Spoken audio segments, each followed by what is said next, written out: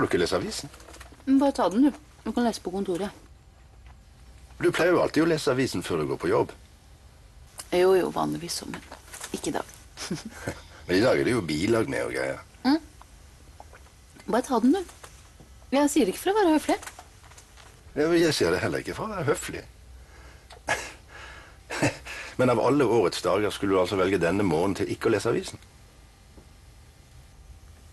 Jeg skjønner virkelig ingenting. Ja, men Vær så snill, ta og les avisen.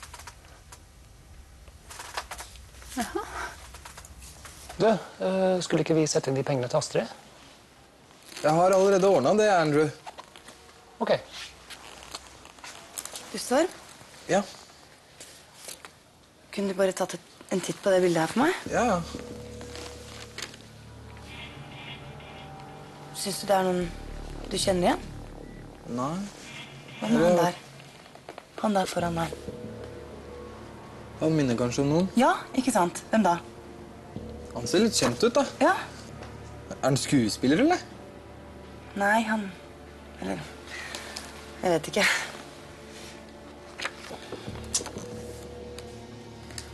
Takk for hjelpen, da.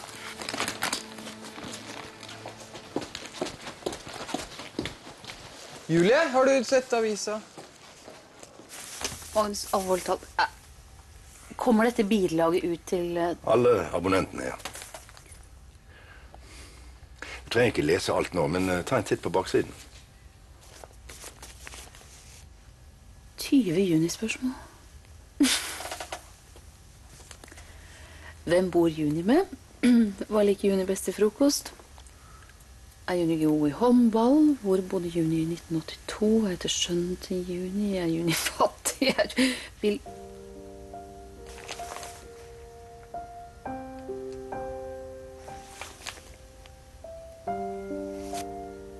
Vil du gifte deg med meg, står det.